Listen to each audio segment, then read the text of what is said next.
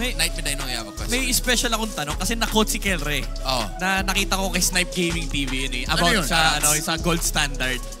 Tingin mo, tingin mo, kung, kung hindi ikaw ang gold standard, okay. Para lang ano, para may mainit tayo na ano. Kung hindi ikaw ang gold standard, sino sa tingin mo sa current gold laners ngayon yung pwedeng tawaging gold standard? Dito ba sa page? Oh, dito, well, ikaw, ikaw bahala.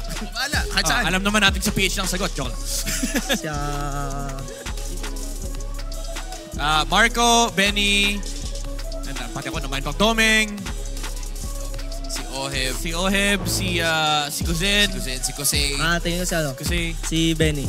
Benny. Si Benny. Tuloy ba ang win streak or may-raid to ng Raiders, Fnatic Onyx versus RSG to start the last day of Week 7? Sa attempt na to, ni Bor had his eyes set on Kirk but perfectly timed ang kanyang Earth Shatter. Di lang siguro niya in-expect na level 4 na si Irad, one quick turret dive na wala ang robot.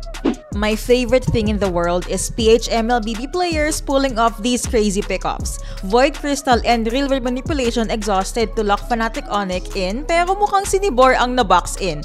Nagamit na ni Kelra ang Zaman Force to set up and Netherrealm naman ni Super Fins for sustain.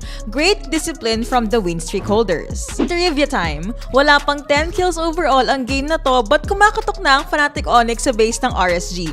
As always, tinapangan ni Bruce kong initiate. Sinundan pa to ng Chrono Dash and Zaman Force ni Kelra. Although napalayo ang avatar of the Guardian, malapit naman sila sa double kill ni Harith. It did not take long for Lightning to strike as Fnatic Onyx secures game number 1. Tingnan natin kung papasok si Yang Kusei.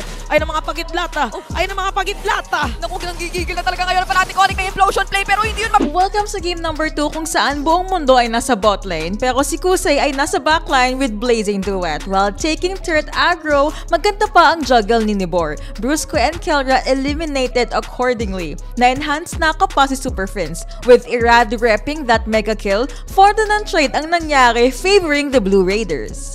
Another highlight for RSG, 10 kills with a 2k gold profit. Stellar positioning pa sa Lord but nakuha ni King Kong ang objective.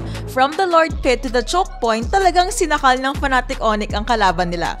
Brusco pinned down 2, may pinch and twirl pa galing kay King Kong. Of course, hindi papahuli si Kelra. Flash in and gunning down Aqua. Susunod pa yata! Double kill for King Kong at nag-flicker pa si Ken! A lot of things happened in between, but basically back and forth ang mga laban. At the 23-minute mark, it's Fnatic Onyx time pa din. Avatar of the Garden sa dalawa, and everyone joined in. Renner's apathy committed, kaya napilit ang RSG mag-enhance knock-up kay Kellera. But ultimately, Tempest of Blades lang pala ang tatapos sa kanila. One good setup from Kirk and Brusco, RSG ata ang tuluyang nahilo. Double kill for Kirk, mega kill for Kellera, ang akala nating 1-1 ay 2-0 lang pala.